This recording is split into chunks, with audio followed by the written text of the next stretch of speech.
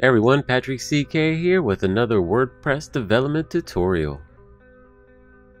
For most people, the abysmal excuse for what WordPress calls a login screen is just an annoying step to get to the dashboard, but I rather think of it as a homepage for client access.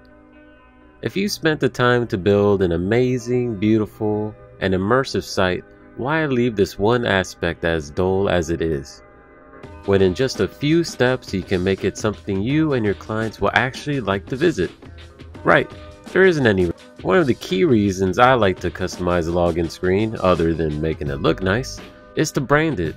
Not only for the organization that the website is for, but also for you or the agency that built the site. I think of it as taking pride in your work. So let's go through the steps to customize the default WordPress login screen. I'm going to show you how I do it, which will require access to your cPanel or equivalent file manager account, and a basic knowledge of CSS. I'll provide a couple links below to help out if you're not overly familiar with CSS or need a refresher. There are other avenues like plugins that can do some of the customization, but I found most of them cumbersome and unexceptional. Plus a rule I always like to follow is why install a plugin if you can find a way to do it yourself without the added overhead? The first three steps are needed to set up the ability to customize login screen. For whatever reason, WordPress or any themes I've used thus far don't give you the options to customize login screen, or even just to load the style sheet that's part of every WordPress installation. I guess they don't think it's important enough. Anyway, here we go. The first step is to create a new folder in your theme directory called login. Of course, you can call it whatever you want, just remember the name and the location for future reference. I did notice that some themes refuse to recognize my new folder for whatever reason. If this happens, just put it in the site's root directory. Next, in that new folder, create a new CSS file called custom-login-styles.css.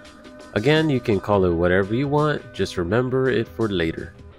The third step requires adding code to your functions.php file.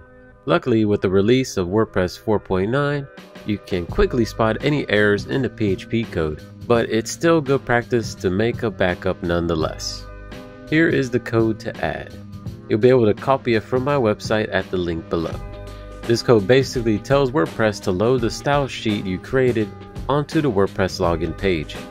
Remember, if the location of the folder or the name of the CSS file is different, replace the path on line 3 accordingly. Now the setup is done. From here on out, all you have to do is open the CSS file and start CSSing. There is really no limit to what you can do here. I will go over a few of the basic details that I make to all the sites I work on to hopefully give you a good starting point to work off of. Of course, first things first, replacing the WordPress logo. WordPress, I love you, but you can't stay here. Override the current logo with one from your media library, preferably a transparent PNG, using the following CSS rules.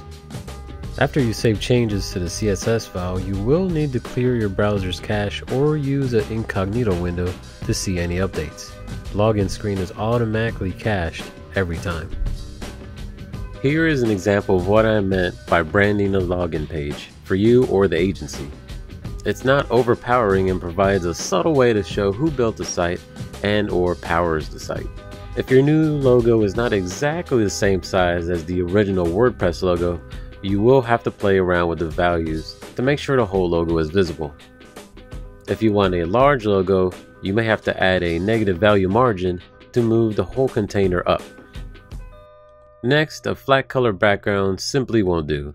To add a full screen image behind the login form, use the following rules.